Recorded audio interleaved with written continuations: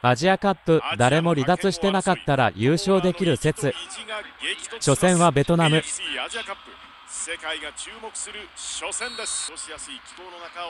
落ち着いて試合を組み立てる日本。前半20分早くもチャンスを迎える。ここはわずかにバーの上。インドネシアも反撃に出るここはザイオンのナイス判断。そのままカウンターへ。伊藤からの牧場スルーパス。だが前田痛恨の宇宙開発。しかし直後前田は汚名返上をする。日本が先制。素晴らしいコントロールカーブを突き刺した。そのまま日本ペースで試合は続く。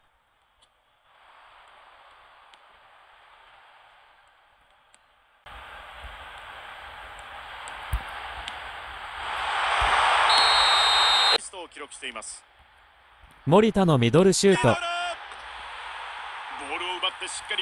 前半ラストプレー。しかし前田が外す。後半戦へ追加点が欲しい日本は攻め続ける。三笘にボールが渡る。素晴らしいクロス。三笘のアシストで南野のゴール。大きな追加点。2点のリードはメンタル的にも大きいですよね、非常にここも日本のカウンター。いけるか？良い形を作った。ここでワンツー。シュート。シュート。ここもカウンター。浅野さあ左へ預けて。おこれいいですよ。抜けてくる。どうだ？シュート。フリーだったが外した。ベトナムも反撃冨安のナイスディフェンス。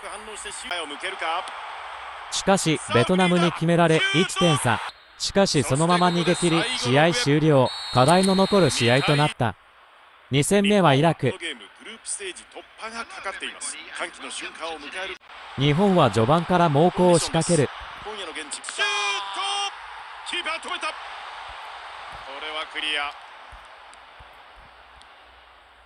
菅原。おこれいいですよ。頭できた。いやさらに猛攻を続ける。ミドルよく止めた。ボールはクリア。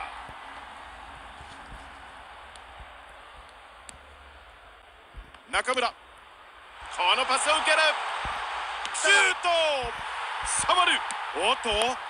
もう一度来た。なんと止めた。これはチャンスこれを決められない。決定力不足が露呈し前半終了。得点は動かないまま後半を迎えます。後半最初のチャンスも日本。そして待望の瞬間が訪れる。先制点は中村のシュートしかしイラクも負けてられない。なんと同点に。ここで久保が見せる。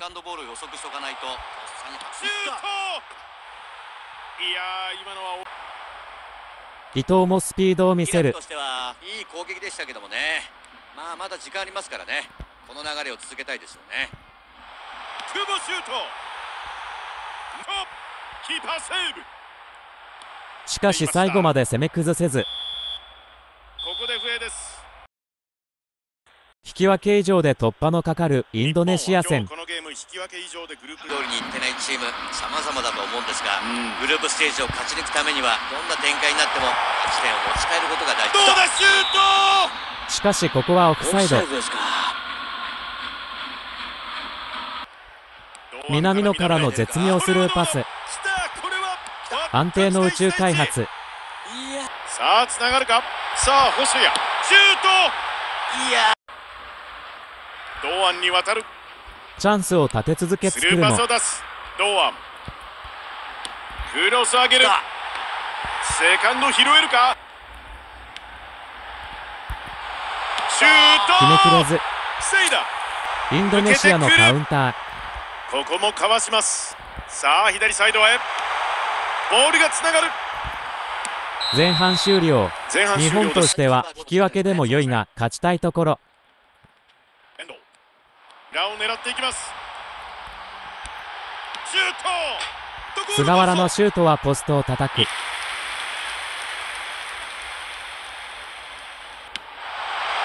仕掛けるか？チャンス!シュート!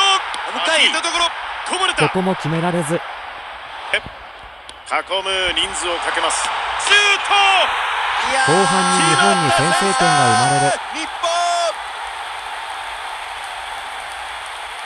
この時間帯ようやくゴールが決まりました。インドネアシアのチャンス。ボールが上がる。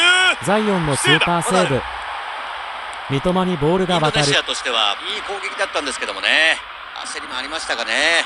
もう一度丁寧につないで1点取りに行きたいですよね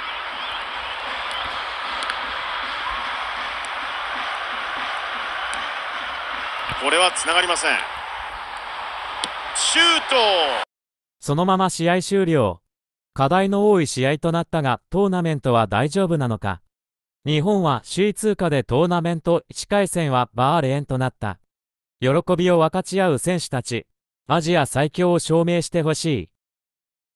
このまま優勝まで行ってほしい。